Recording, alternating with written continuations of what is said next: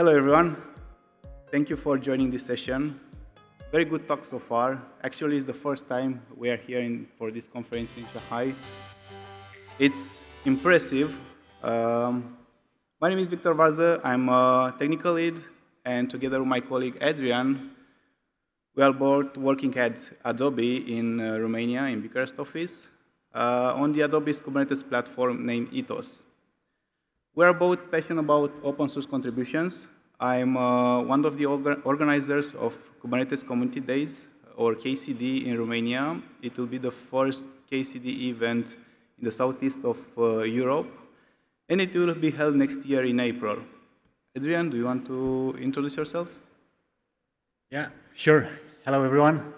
My name is Adrian. I'm a lead cloud software engineer at Adobe, and I'm also part of the Kubernetes GitHub organization. And currently, I'm focusing on the cluster API ecosystem project. Today, we are going to be talking about our five-year journey of how we leverage namespaces in order to scale the adoption of Kubernetes in Adobe. In the first part of the presentation, I'm going to talk about Project Ethos, Kubernetes namespaces, and capacity management, and uh, my colleague Adrian will continue with governance policies, non-disruptive Kubernetes upgrades, and multi-tenancy at scale. The project that we are working on is named Ethos, and it is a multi-tenant Kubernetes-based platform established through the collaboration between the Adobe's infrastructure team and the product development teams or application development teams. The initial version of Ethos uh, began with Apache Mesos and DCOS uh, in uh, 2016, we were in production. It was a good decision at that moment because uh, DCOS was a production-ready solution and we got experience of running containerized applications and microservices in production. Then, as Kubernetes matured, we initiated the migration from uh, OS to Kubernetes. And um, we started in 2018, and one year later, we almost hit 100 Kubernetes clusters. Along with the Kubernetes project, Ethos is using many of other open source software projects, such as Cilium, Prometheus, Open Policy Agent, Argo, and so on. This is the high-level overview of Ethos uh, Kubernetes platform and uh, its positioned in Adobe. Um, on the top of the slide, we have the three Adobe clouds, Creative Cloud, Experience Cloud, and Document Cloud. These uh, clouds are powered by Adobe products, um, such as Adobe Photoshop, Adobe Firefly, Analytics, Adobe Experience Manager, Adobe Sign, and so on.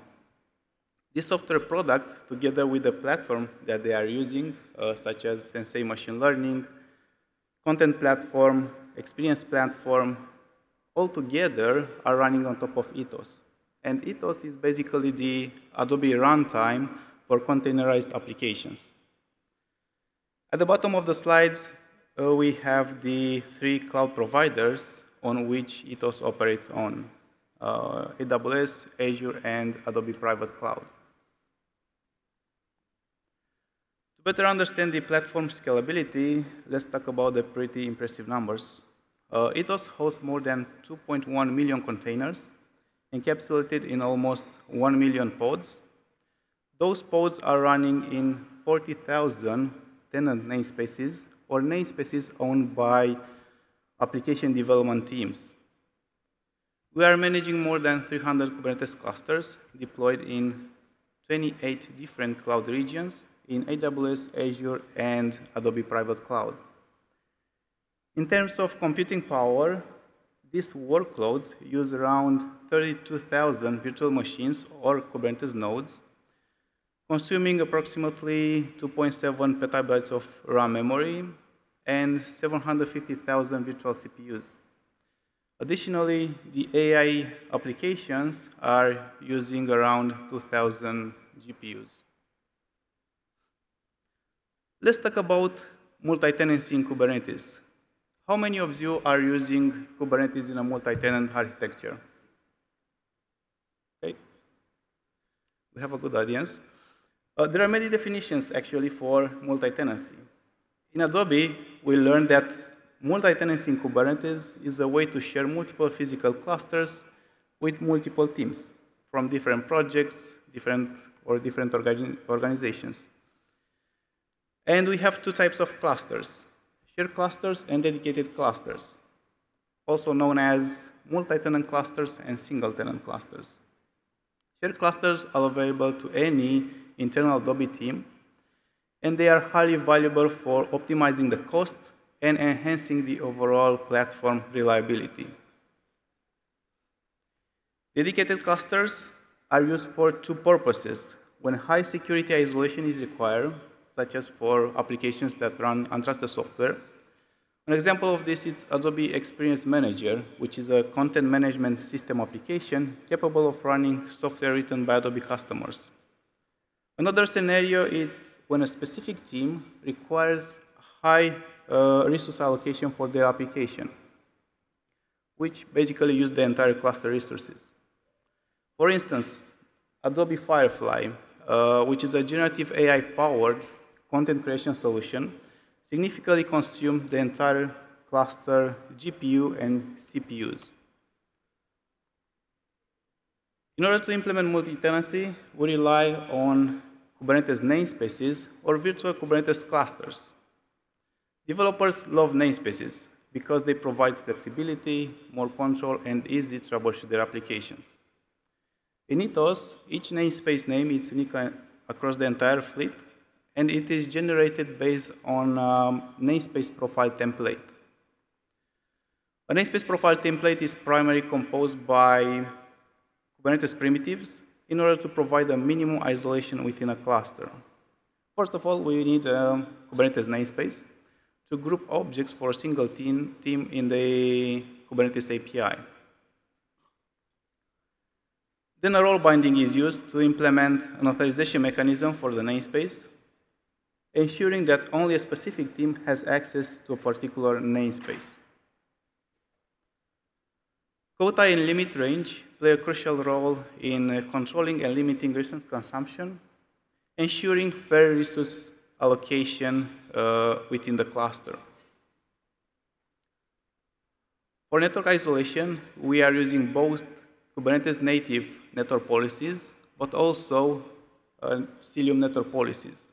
And network policies are very useful for implementing DNS-based policies and other layer, layer 7 policies. After the namespace profile is deployed on the cluster, the tenant can deploy his application inside. The tenant application resources will be restricted only to a specific team, and the pods will be isolated in the cluster using the default network policies. In a multi-tenant environment, capacity management is a key consideration because capacity issues can result in uh, higher costs. By the way, who doesn't have cost concerns when running the application in the cloud? Costs are very important.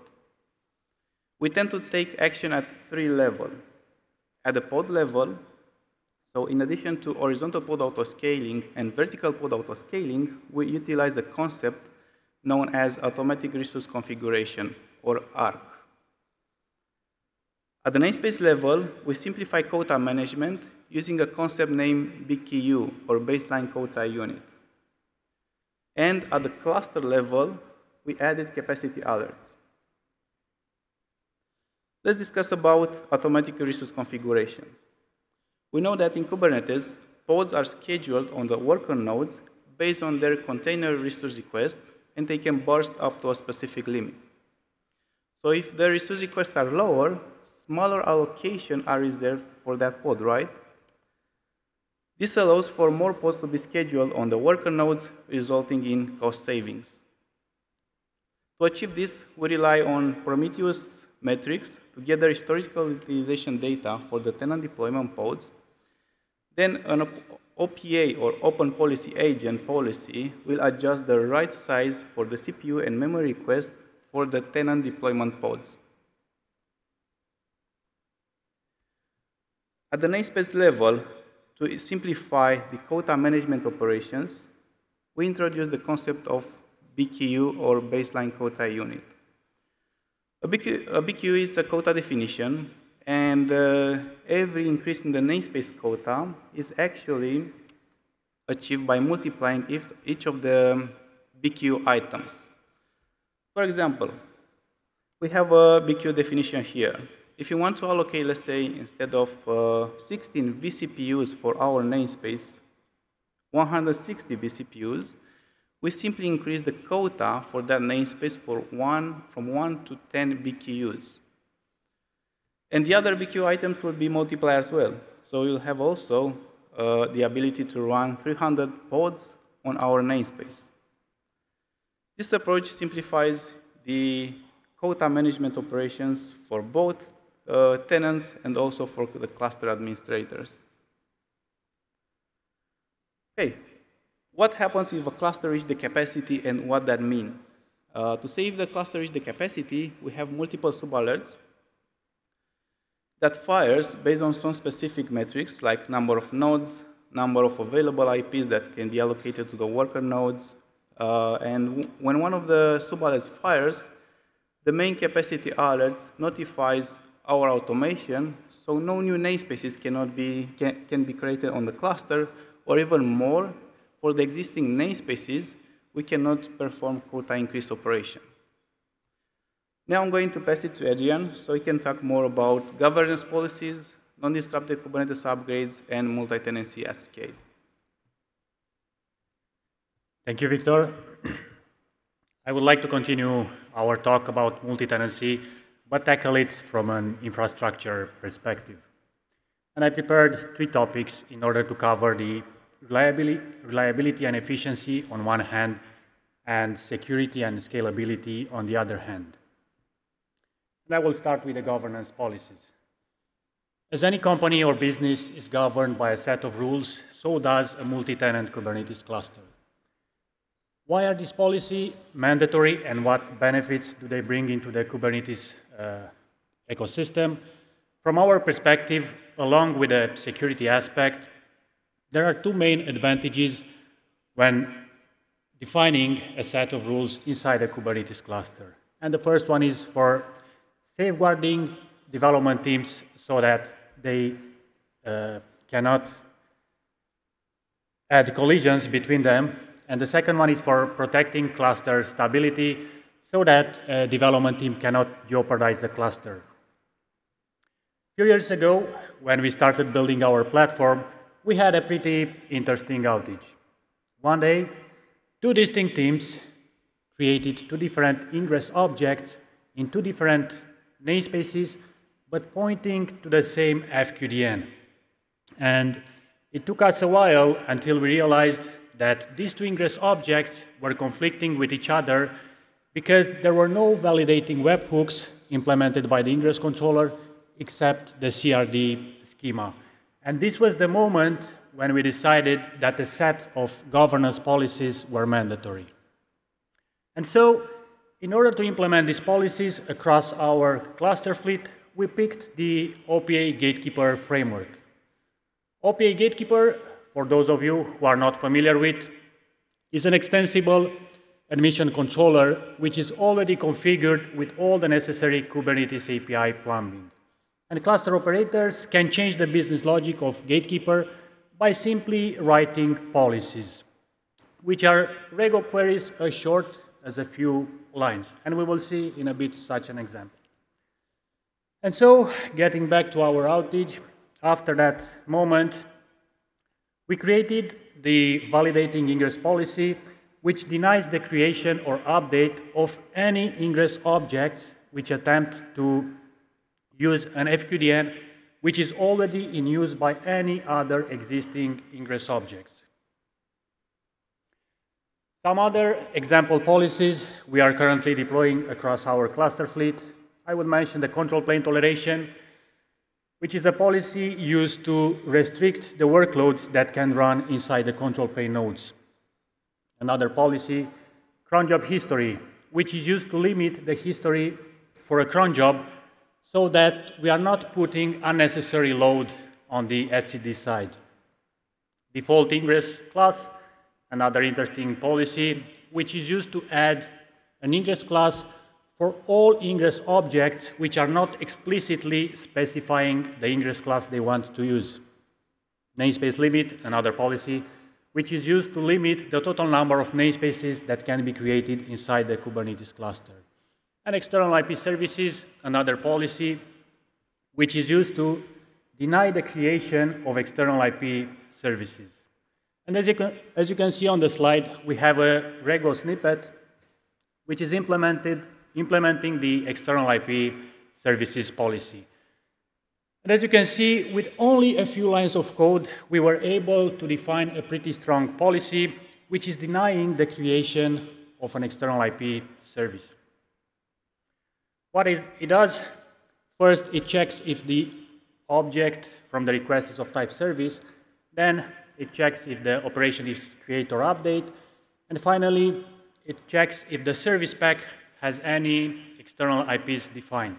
And if all these three conditions are met, we are rejecting the request and sending back a message to the user stating that external IP services are not allowed because of a, of a pretty high vulnerability that is found inside the Kubernetes codebase. One thing to keep in mind here is that Gatekeeper, as any other validation or mutation webhook, adds latency to any API request it mutates or validates. Why? Simply because of the extra processing time needed to mutate or validate the request.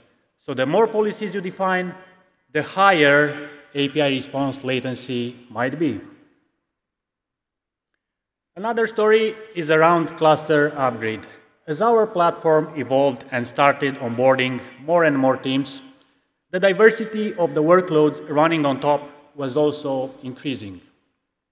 Some teams started running stateful apps like databases or distributed event streaming apps that hmm, are pretty sensitive to disruptions. And after a few outages that were caused by our cluster upgrade process, it was clear that we needed to develop a new way or a new strategy while doing cluster upgrades because the pod disruption budgets alone were not enough. And we were looking to have a high enough velocity while rotating the worker nodes on one hand, but still maintain the client's app's availability and infrastructure costs at some reasonable thresholds. And so we came up with what we call the Park Nodes upgrade strategy.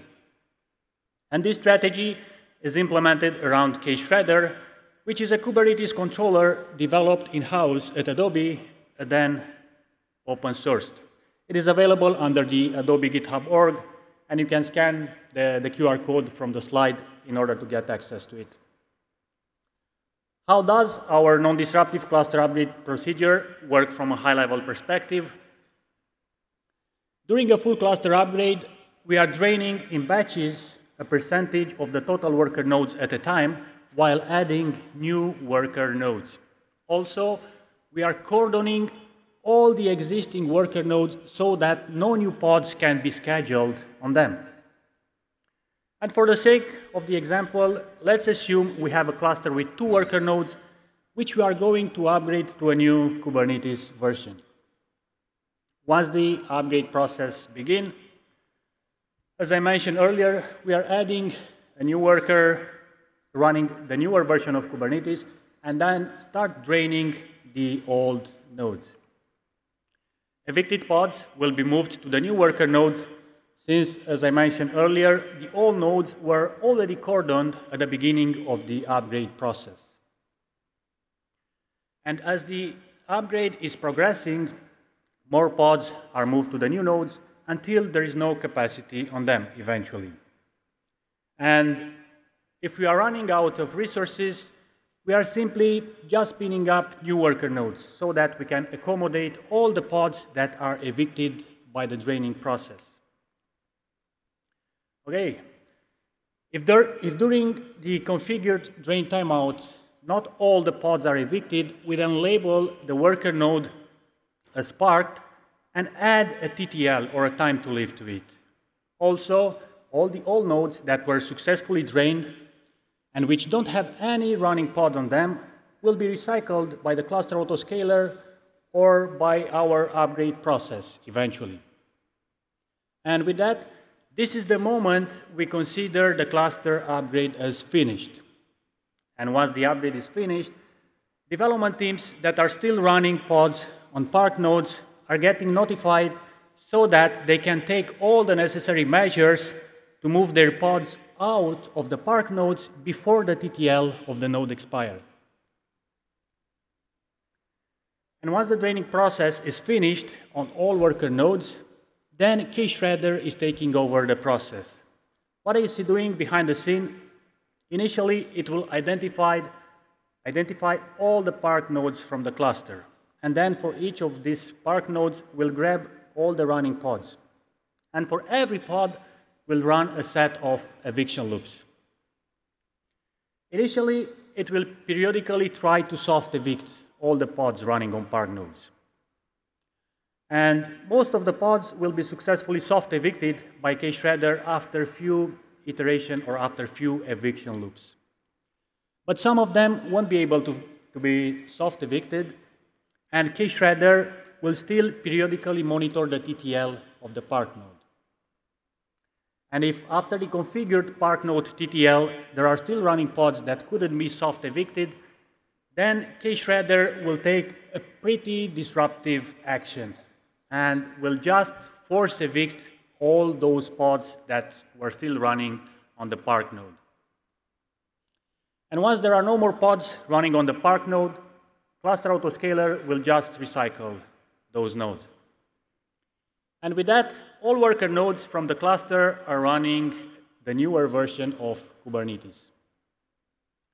And putting all these steps together, you can notice that the process is pretty smooth. And eventually, all worker nodes will be running the newer version of Kubernetes.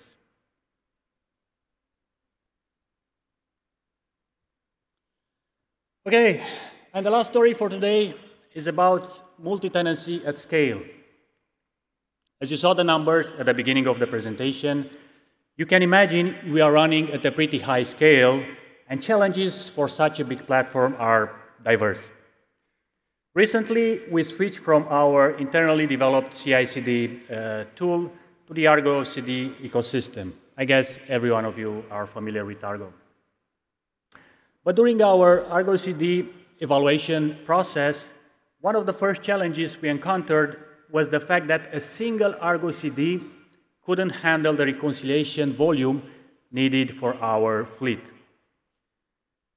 And to give you an idea, we are deploying between 70 to 90 admin components on a per Kubernetes cluster.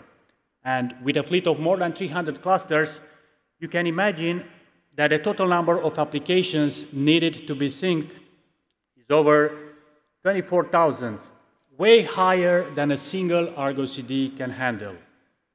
And so, in order to be able to scale the rollout of all the admin components across the fleet, we've come up with a pretty interesting pattern, which we called Argo of Argos. As you see on the slide, we are running a multi-tier Argo CD setup, where tier 0 is used to reconcile the tier 1 Argo CD instances, and tier 1 Argo CD instances are used to sync the cluster admin components fleet-wide. Moreover, each tier 1 Argo CD instance is handling only a subset of the Kubernetes clusters that are part of the fleet. Also, all tier 1 Argo CD instances have the same config and have registered the same set of application sets so that we have consistency across the entire tier 1 Argo CD instances. And in this way, we accomplish the flexibility when it comes to the scalability of the continuous delivery system. We can always add more tier 1 Argo CD instances or remove them based on our platform needs. And with that, I'm passing it back to Victor for the conclusions. Thank you, Adrian. Okay, so uh, let's wrap up uh, a few takeaways for our five-year journey of uh, running Kubernetes in a multi-tenant architecture. There is no silver bullet while building a multi-tenant developer platform. You should always align with uh, your target audience, your user, or in our case, uh, product development teams. Uh, every company is different and it has its own needs and vision uh, regarding to the multi-tenancy uh, architecture. And here, namespaces are a viable solution for building boundaries around multi-tenancy and uh, last but not the least, uh, challenges while working at the scale uh, are different comparing with a small or medium-sized platform. Thank you so much. Uh, hope you enjoy our talk. Uh, if you want to get in touch with us, here are our contacts. additionally, you may be wonder, wondering where the um, K-Shredder icon came from. Um, as you can see on the slide, Adrian excels as a fisherman, while on the other hand, I'm uh, one of the worst sailors. Thank you. if you have any questions,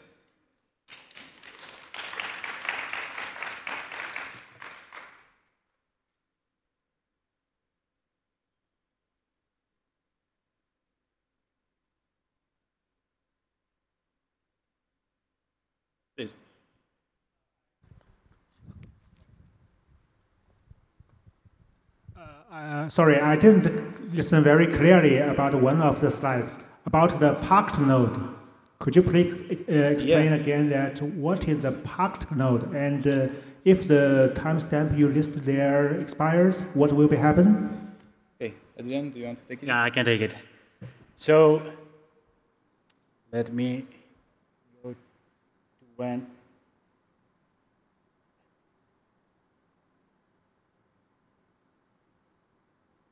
So the uh, TTL or the time to live or the timestamp of a node is added at a node level. And K-Shredder will periodically evaluate the TTL of the node. And if the TTL of the node expires, then K-Shredder will force evict all the pods that were still running on that node after the TTL expired.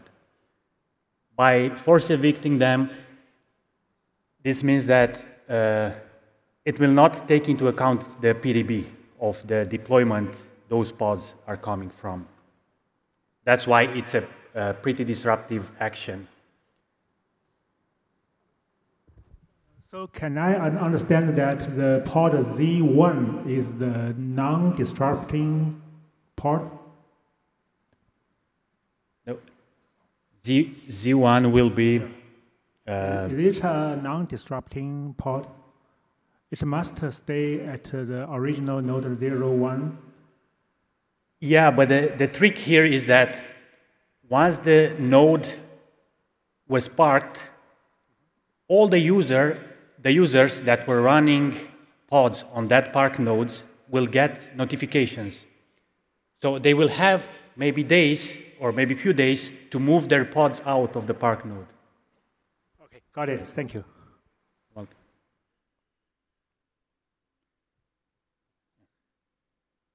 Yeah, one more thing here. Uh, K-Shredder is an open source project, uh, and you can try it uh, after that to, to, see how it works. Another question? Hi. Hey. Um, I might have missed at the beginning, but so I understand that once you've created the namespace for the user, you pretty much have no, like, you give them a quota, but then they can do whatever they like.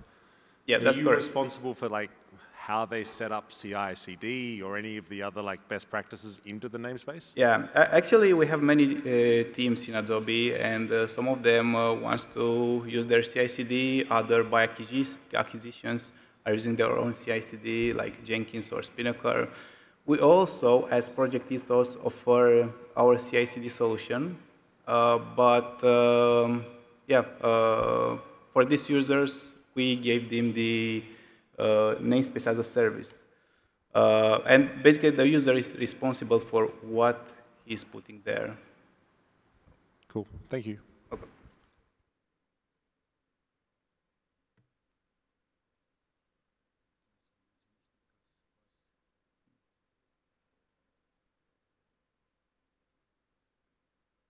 Another question? Uh, I have a question yeah, about the disrupting upgrade, upgrade, upgrading. Uh, you just introduced about uh, the Kubernetes. Uh, what about Kubernetes API server and control manager, that part? Okay, I think it's about uh, uh, the non-disruptive Kubernetes upgrades.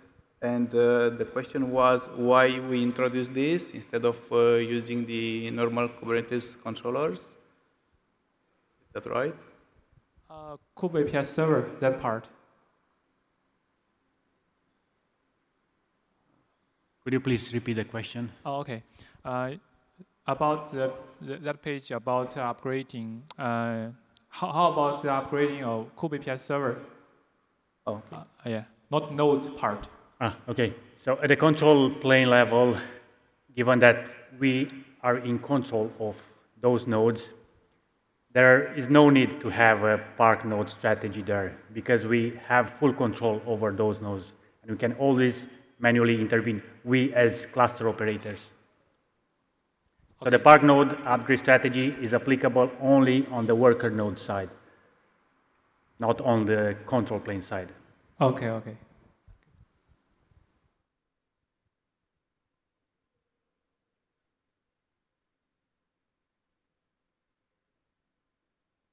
Okay, other questions?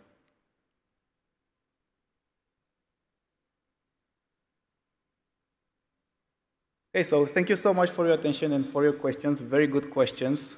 Um, if you want to get in touch with us, we'll be around. Also, you can uh, uh, ping us uh, via email or uh, LinkedIn.